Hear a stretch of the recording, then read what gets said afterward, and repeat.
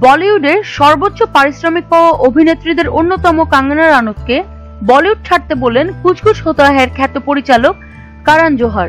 সম্প্রতি coffee with কারণে প্রথমবারের মতো গিয়েছিলেন কাঙ্গনা। বলিউডের এই কুইন অভিনেত্রী কারণ জোহারকে অভিহিত করেন মিডিয়া মাফিয়া বলে। এতেই থেমে থাকেননি তিনি।